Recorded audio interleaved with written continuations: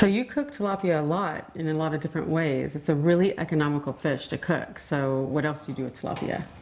Um, well, I like to boil it. I like to bake it, and um, I like to make it taste a lot of different ways. So sometimes it might taste tangy. Sometimes it might taste peppery. So let's go ahead and try this tilapia and see what how it tastes. Mmm. That is so good, you guys. This is delicious.